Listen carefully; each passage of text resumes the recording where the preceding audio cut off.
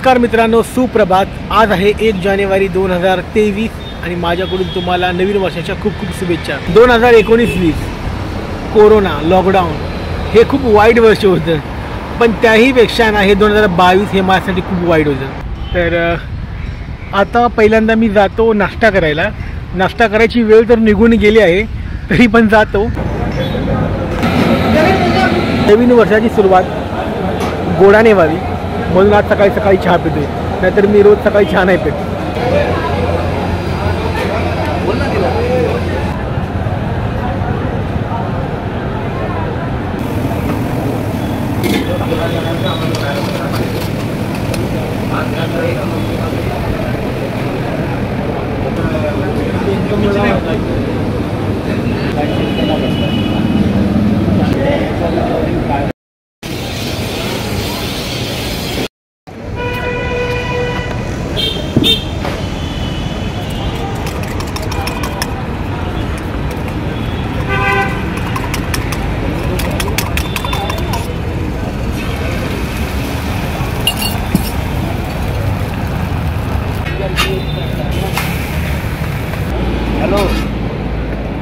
दुकान या तू गायला का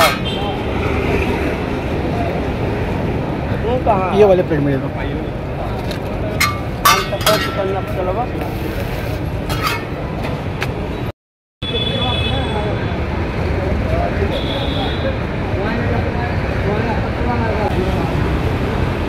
काल सात वाजता ऑफिसमधून निघालो आणि माझ्या घराच्या जवळ आलो.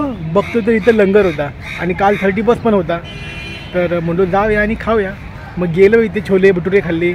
अजून दूध होतं सूप होतं अजून चहा बिस्किट आणि अजून कांदा भजी असे काय काय होतं.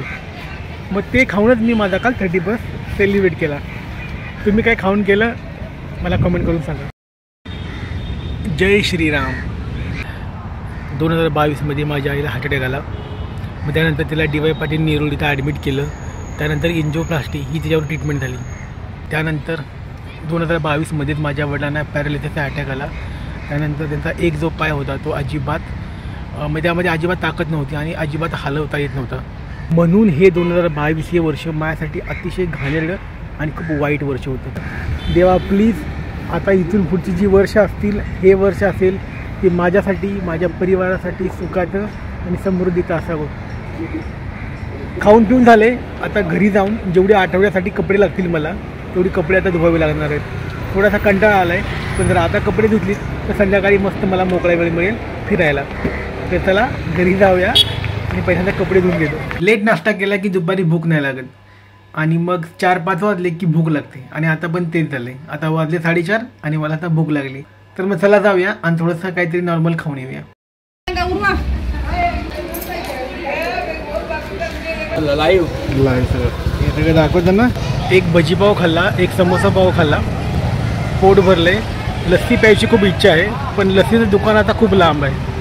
खूप म्हणजे खूप लांब आहे. जर बाईक आणलं तिथं बरं झालं असतं. आता घरी जातो आणि जेवढा व्हिडिओ सकाळपासून बनवला आहे तेवढा एडिट करतो आणि मग आपण आता डायरेक्ट भेटू संध्याकाळी जेवायला जाताना.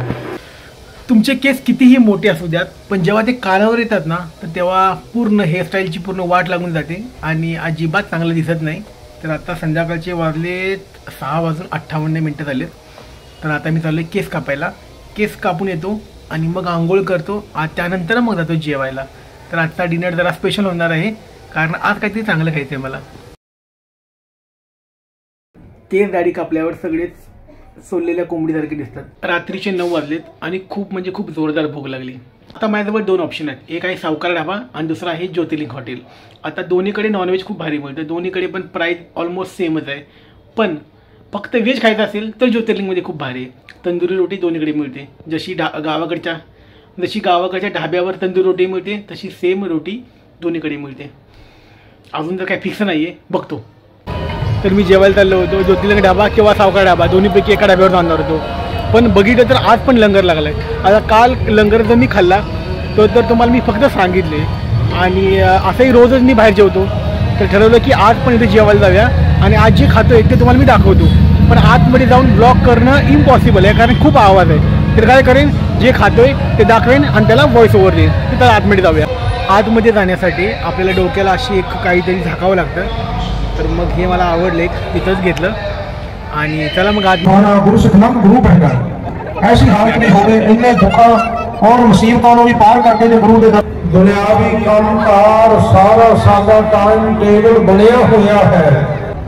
और हर समय सीखने गुरु लंगरमध्ये गेल्यावर मी काय काय खाल्लं काय काय पिलं हे ऐकून अक्षरशः तुम्ही डोक्याला हात लावणार आहे. सगळ्यात पहिल्यांदा मी घेतलं गरमागरम व्हेज सूप. सूप झालं की लगेच गरमागरम कांदा भजी घेतली. कांदा भजी खाऊन झाली की मी बसलो मग जेवायला. तिथे मला भात होता भाजी होती चपाती होती खीर होती. एवढं खाऊन मी काय थांबणार होतो का? शेवटी जाता जाता एक मसाला दूध मी गरम गरम पिलंच आणि एक ॲपल घेतलं आणि खात खात मग घरी गेलो.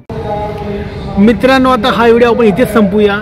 तुम्हाला जर हा व्हिडिओ थोडा जरी आवडला असेल तर आपल्या चॅनलला सबस्क्राईब करून या व्हिडिओला लाईक करायला विसरू नका. पुन्हा भेटू नवीन व्हिडिओमध्ये. तोपर्यंत काळजी घ्या.